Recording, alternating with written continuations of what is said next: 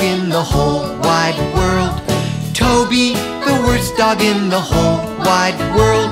His bark will make you cower. His breath can wilt the flower. Cause he's Toby, the worst dog in the whole wide world. I bought him at the pound, I bought him at the pound, the cutest pup around. the cutest pup around. Little did I know what I was getting. I brought him home that day. I brought him home that day. I thought he'd like to play. I thought he'd like to play.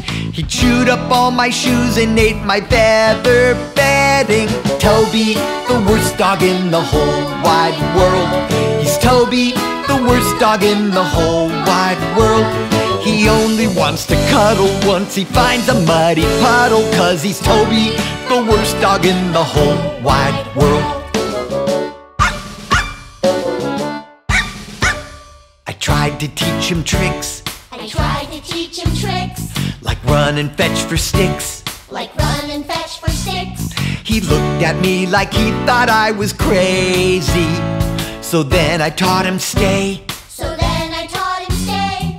Stayed that way all day. He stayed that way all day. I never met a dog who was so doggone lazy. Toby, the worst dog in the whole wide world. He's Toby, the worst dog in the whole wide world. He gobbles up his food, he's got a poopy attitude because it's Toby, the worst dog in the whole wide world.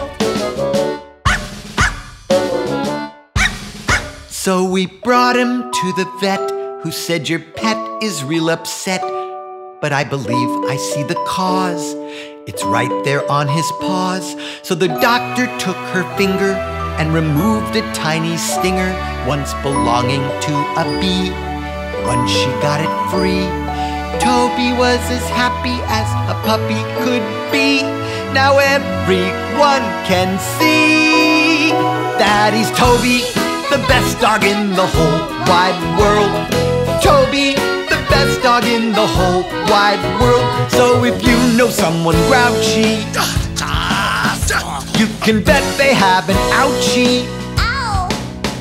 Just like Toby, the best dog in the whole wide world. He used to be Toby, the worst dog in the whole wide world. But now he's Toby, the best dog in the whole